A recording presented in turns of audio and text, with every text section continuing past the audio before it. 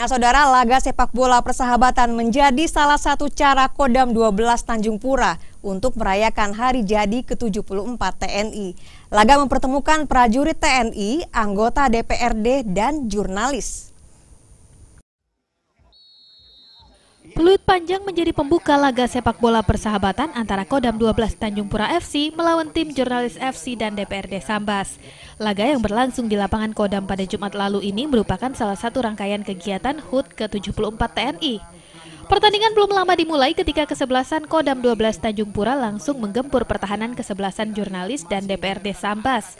Pangdam 12 Tanjung Pura yang mengenakan nomor punggung 7 langsung mendapat peluang emas dan mencetak gol perdana untuk skuad Kodam 12 Tanjung Pura.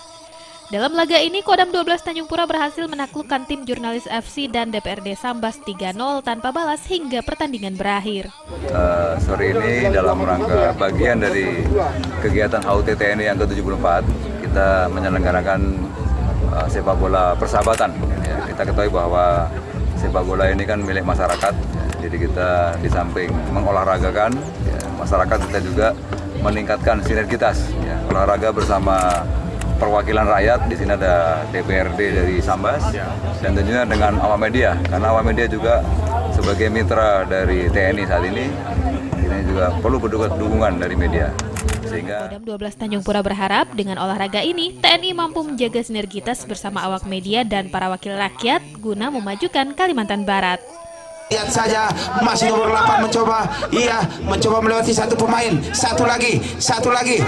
Kita lihat apa yang terjadi. Wow. Kita lihat dari sayap sebelah kiri. Mencoba berlari. Satu Satu dua tiga. Masih berlari Masih berlari. Apa yang terjadi? Apa yang terjadi? Oh oh, oh. Masih dikuasai. Iya kita lihat. Iya Kita lihat.